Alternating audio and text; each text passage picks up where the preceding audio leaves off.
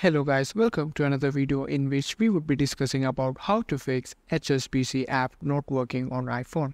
Are you having trouble that your HSBC app is not working properly on your iPhone? Don't worry, in this video we'll help you find a solution for it. Just follow these easy steps. 1. Update your iPhone to the latest iOS. The HSBC app requires iOS 14 or above.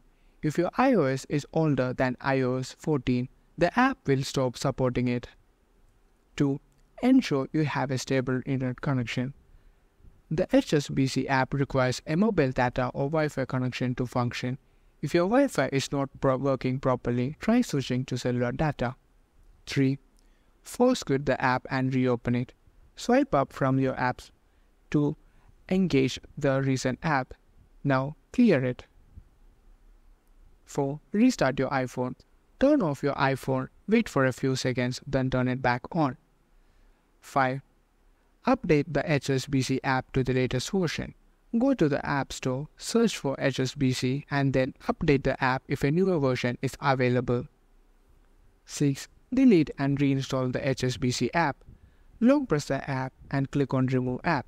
Then select Delete app.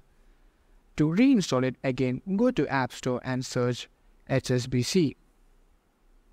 If the issue persists, contact HSBC customer support. They can help troubleshoot the problem further and provide additional guidance. Even after doing all this, if you are still not able to find a solution, it's recommended that you also contact Apple support.